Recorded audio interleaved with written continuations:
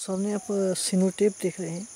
ये महाबली तेली की सिनोटेप है और इसके जस्ट बगल में मही जो गाँव है ये दुबेला, इसमें महा, महाबली तेली की समाधि के जस्ट बगल में, जो सामने की तरफ़ आपको बिल्डिंग दिख रही है, पेड़ के जस्ट पीछे। ये बिल्डिंग है, ये मोन्यूमेंट है आपकी महाराजा छत्रसाल की समाधि the cenotaph of Maharaja Chhatrasal, जिनके बारे में कहा जाता है कि छत्ता तेरे राज में धक धक धरती होए और जद जति घोड़ा मुख करे तित तित फत्ते हुए। बुंदेलखंडी में है मतलब छत्रसाल जी, तेरे राज में जो है ना, वो धरती धक धक होती है, ठीक है, हिलती है। जहाँ जहाँ आपका घोड़ा मुख करता है मतलब जहाँ जहाँ आप घोड़े पर सवार होकर चलते हो, वहाँ वहाँ पर आपकी फतेह हो जाती है मतलब आपकी विजय हो जाती है। ऐसे महान सम्राट जिन्होंने मुगल्स जो सेनापति था, साहब बंगस, उसको हराया। साथ ही साथ बुंदेलखंड केसरी की जो उपाधि थी, वो अर्जित करी।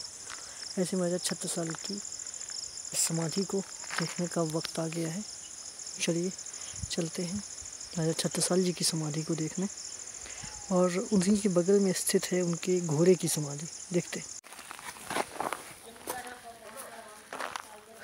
महाराजा छत्रसाल की इस समाधि का निर्माण बाजीराव फ़र्स्ट ने सत्रह सौ तिरानवे में करवाया था, जो कि इस बोर्ड से लिखा हुआ है, और उसके अनुसार।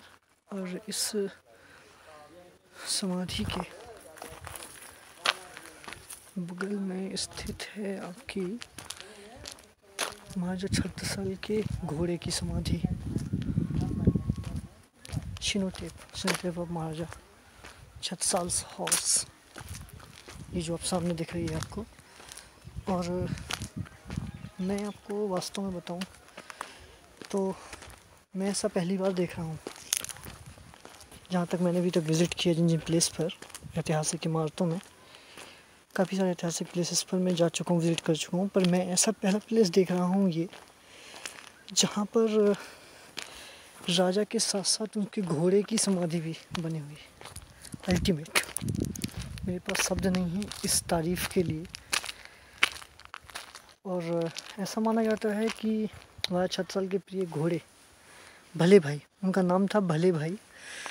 तो भले भाई ने महाराजा छत्तर साल मतलब अपने मालिक की समाधि को लेने के बाद अपने प्राण भी त्याग दिए थे। सही कहा जाता है कि जानवर में, जानवरों में भी इमोशंस होते हैं। और ये बात भले भाई की समाधि की कहानी सुनकर चरितार्थ हो जाती है। बहुत बढ़िया। बहुत बेहतरीन बनी हुई है और मुझे लगता है कि धुबेला में स्थित जितनी भी समाधियाँ हैं सनोतेप में सबसे भव्य और सबसे बड़ा बना हुआ महल, या महल नहीं कहेंगे, समाधि स्थल। वो यही है महाराजा छत्रसाल की समाधि। बेहतरीन बना हुआ है। चलिए, चलते हैं इसके अंदर और देखते हैं कि किस तरीके से इसका निर्माण किया गया। वैसे इसका गेट ये भी है और ये गेट क्लोज़ है, क्योंकि मैं बैक साइड से आया हूँ। पहले मैंने घोड़े की समाधि को विज़िट किया था, उसके बाद इस रास्ते से आते हुए मैं यहाँ पहुँचा इस गेट के। ये देखिए अब समाधि।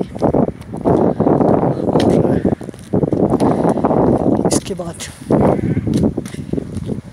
यहाँ पर ये फिर वही जाली गेट का प्रयोग। छत्तीस की समाधि का अंदर से नज़ारा।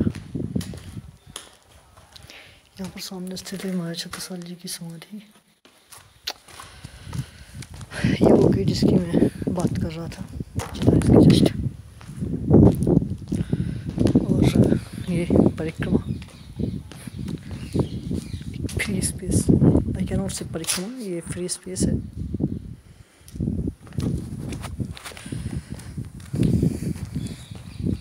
खाली रखा गया है दर्शकों को। घूमने के पर्पज़ से। ये यहाँ की सीढ़ी दीवार से काफ़ी सटी हुई। आराम से जाना चाहिए गिरने की संभावना।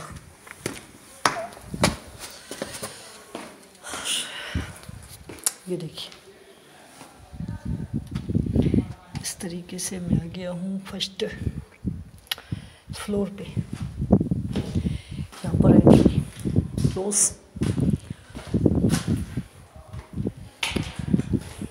मुझे लौटना पड़ेगा। जिधर से मैं आया था। If you like my videos please like and share my videos and subscribe my channel and press the bell icon the right side thank you